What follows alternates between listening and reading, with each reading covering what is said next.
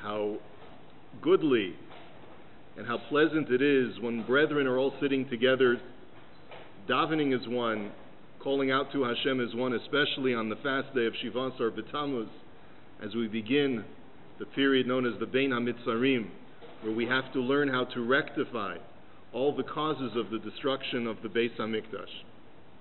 Bilam said, Hein am levadad yishkon, that we are a nation that dwells alone, which means that if we don't stick together, no one's going to be there, no one else will be there for us. And therefore, it's truly wonderful when we can come together as a community and simply show achdus and communal care and love for each other. It is therefore a tremendous honor to be able to welcome all of the uh, many of the various different shuls in the area. We hope in the future to be able to incorporate even more achdus for the future. It gives me a tremendous honor to be able to welcome Harav Michalowicz from the Westmount Shul to give us a few words at this time.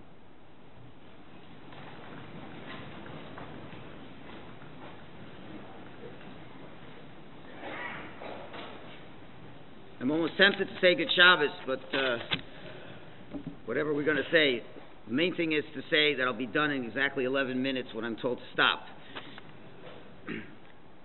I think I'm fortunate to be able to speak today. If I'm not mistaken, amongst the Rabbanim at the Dias, I've been in Thornhill longer than any of them. 25 years ago, when I moved to Thornhill, there were two shuls in the area and a very small community.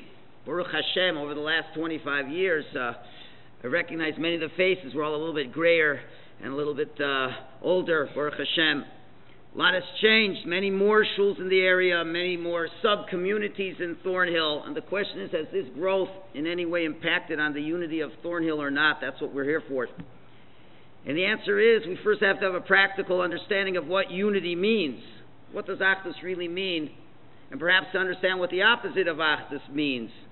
What's the opposite of unity if not machlokes?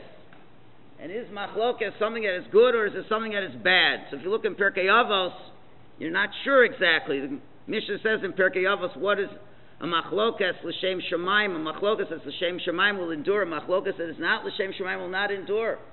Machlokas hil and Shammai will endure. A machlokas of Korach and his foes will not endure. Seems from the Mishnah that they definitely can have machlokas that is good. Hil and Shammai was a machlokas that should be miskayem. So indeed, there is something wonderful about machlokas and somehow that's not supposed to be in contradiction to what unity is all about. And through the limited time, I'll give you one simple mashal. I hope it'll be enough. If you look at your own body, would you say there's unity in your body or machlokas in your body? You've got a right hand that does things very different than the left hand. We do everything the opposite the way the left hand does it. The right foot, the left foot, every different body part is uniquely different, is a different chelek is totally different, has a different function than the other part. Is there enmity between these parts? Does the right hand get upset if the left hand gets to shake someone's hand in shul? He's a lefty, he always complains, you always get to shake people's hands in shul. Probably not. Why? Because they all serve a common higher purpose, which is we'll call the eye of the human being. They understand that there is a greater purpose than my particular parochial need of being the right hand or the left foot. And indeed, that's a classic example where there is tremendous machlokes, because each one is going to do things very different than the others. But if they understand that we have a higher purpose than my own particular need, and sometimes if the need is to lie down and to keep the right hand and left hand quiet, we'll be quiet so we can get a good night's sleep. And other times the right hand will get its opportunity. That's really what this is all about. Hashem has created an amazing tapestry of all kinds of amazing machlokas from the second day of creation. That's the way Hashem wants it to be, with lots of different flavors. But it all depends on one thing where are the flavors focused? Where are all these unique individuals focused? For all focused for a higher I, which is the Rabbeinu Shalom, then you can never be jealous of another part of Klal Yisrael that's doing their own thing.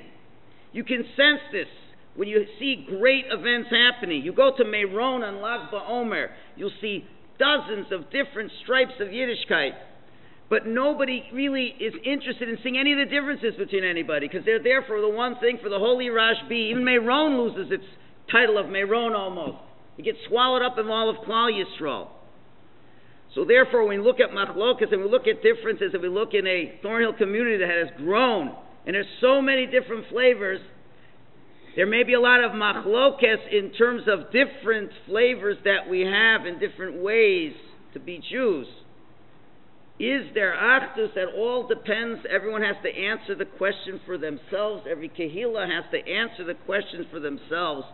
Is what everything we do for the sake of the common higher cause for all of us? And if what if one shul would hear that another shul was almost falling apart? Would they silently say, let it fall? Or would they say, no, we have to raise funds so the other shul would be able to survive because they offer something maybe we don't offer? Should never come to that. But that would really be a test to see if there be achdus in this world.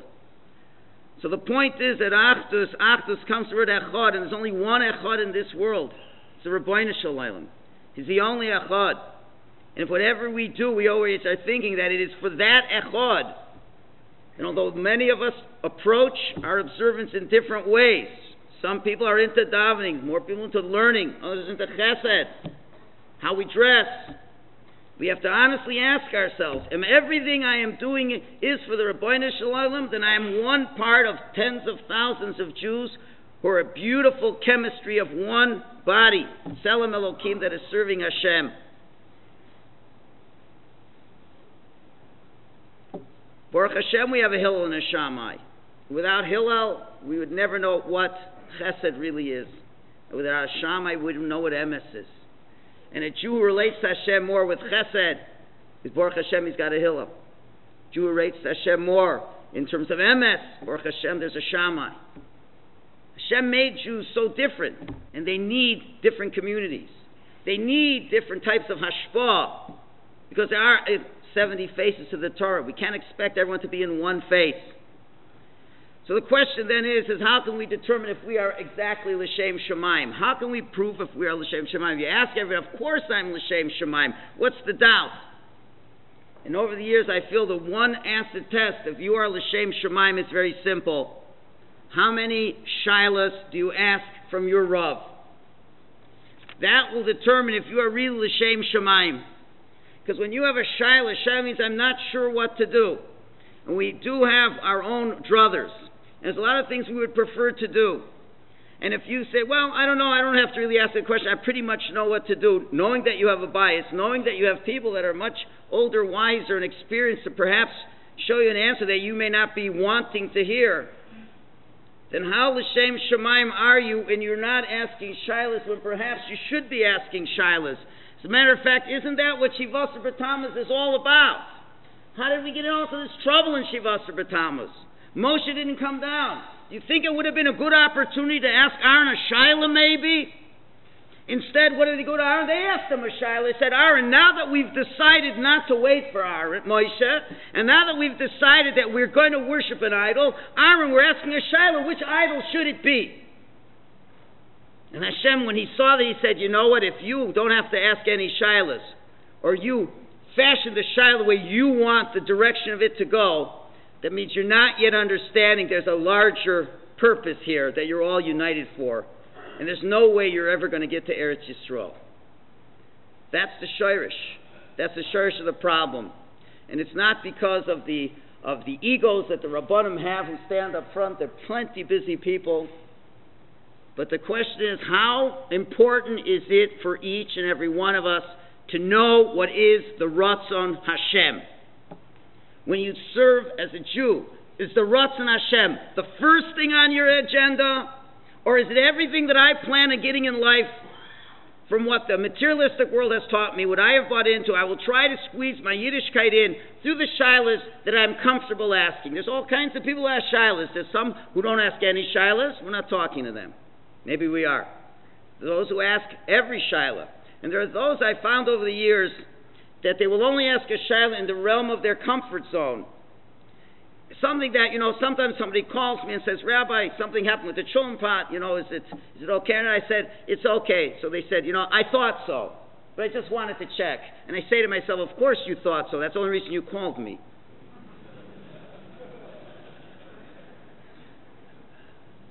But how about to ask those questions that really get into your personal life? The questions that are really important. You're going to have people who ask the, many of these simple questions. Is the, is the pot treif? Is the kosher? You know why? Because I'm wealthy enough. If I blow $15 on a shiloh, it's worth it for the rabbi to think I'm a very pious Jew that I ask lots of shilohs. But then when it comes to maybe other questions about perhaps what school you should send your child to, knowing you have every child is unique and every school is unique, and where will he get the best yiras Shamayim? Do you ask your Rabbanim shilas like that? Do you ask shilas of a Rav if you should be able to daven in a shtibel on a Friday night? There are shilas that are involved. Believe it or not, it may be a shilah. You might think it's unity. There's an Indian of davening in a Beis Knesset. Did you bother to ask the question if you should go or even even to open up one? Did you bother to ask the Shaila if you're permitted to attend the Kiddush club or not? Well, on the one hand, it seems to promote a lot of achdus. The other hand, it detracts from what's going on in the shul. Did you ask a Shaila? Did you ask a if you have to pay people their wages on time even though they didn't do such a good job? Did you ask a Shaila how much money should you spend on a simcha? Do you ask a Shaila if I should make up with my relatives? Do you ask a Shaila if I have to put a filter on my internet or not? Or even if you ask a Shaila, can I listen to music on a radio during the three weeks? So, all questions that we're very uncomfortable asking. If you're asking those questions constantly, that says loud and clear, I'm a hand, I'm a foot of a bigger, bigger conglomerate that's bigger than me, that's more important than me. And I'm prepared to take the answer, even if it's going to cause inconvenience in my life, because the only thing I want is Ratzon Hashem. If we don't, then what are we saying?